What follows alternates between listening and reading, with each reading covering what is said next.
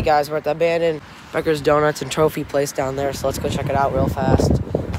Support your trusted public health. And wonder why that's on there, but okay. This is a wonderful community for your business and the port for the last nine years. This location is now closed, but please come visit at our Fairview location.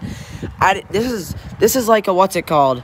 A coffee, um, not a coffee, a coffee at a place that had really good donuts. We went here for breakfast a lot. It was a family-owned place. I didn't know they had more locations. Big lease sign.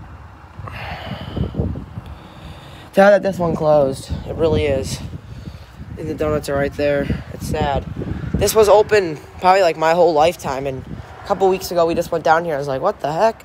And down here is a trophy shop that I never went to. We will no longer have a storefront, but we'll remain a full service trophy shop. Contact us.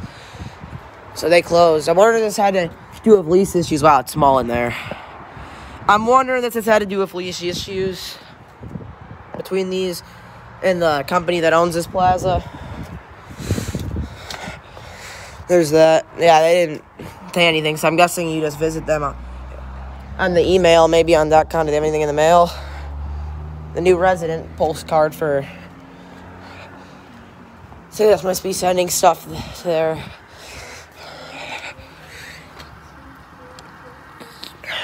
We somehow made a pull in here. I was just joking. I was on the phone with my friend Alex from Retail Ventures of Alex. Check out his channel. My, I said, Dad, let's pull in here, and he did.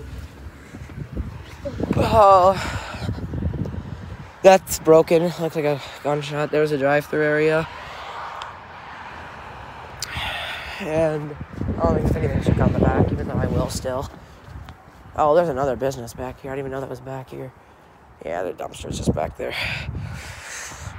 So, yep, there's a street sign up there. So, anyway, guys, please leave a like and a comment. And check me out on Instagram at davids.retail.adventures and on Facebook groups Retail Central and Crazy About Kmart and Sears. I hope you guys have a good day. Make sure to leave a like and a comment and subscribe to me for more content. Thanks for watching. Stay awesome and bye.